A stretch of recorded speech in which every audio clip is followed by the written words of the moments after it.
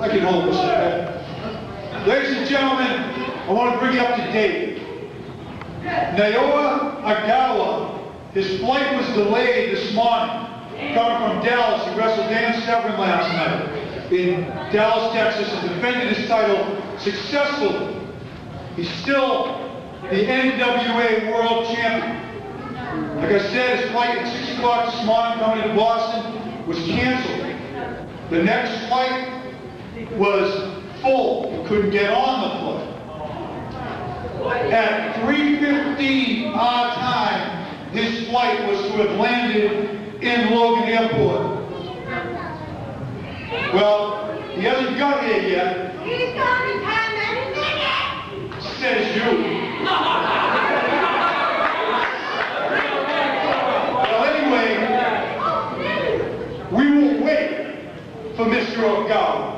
Because Mr. Ogawa, when he gets here in Boston, Massachusetts, will find out why Tony Rumble is Boston born and Boston bred and Boston bound to the day I be Boston dead.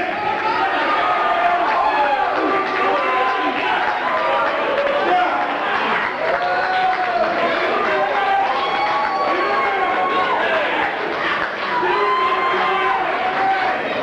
Yeah, before I say another thing, and I appreciate the response, but I'm going to bring out right now a friend of mine who's going to be a former, uh, actually, excuse me, a future world champion. And I'm going to introduce him right now, and I want you people to give him the kind of ovation that he deserves because he is one of the toughest people I know, and he's never backed down from a fight, no matter who it was.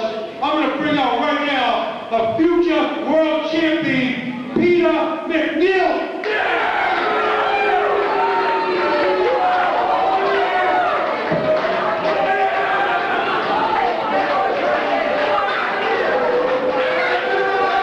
Cheers, Peter McNeeley. Come on.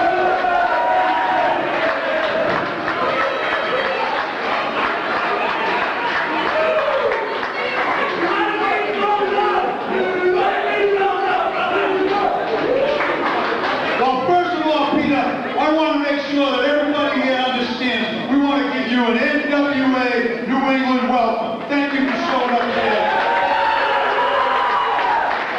And all you people, now get ready because on June 26th, coming up very shortly from Las Vegas on pay-per-view, Peter McNeeley, the newest member of the Brotherhood, is gonna take on Butterbean, and he's gonna kick his ass in Las Vegas, Nevada.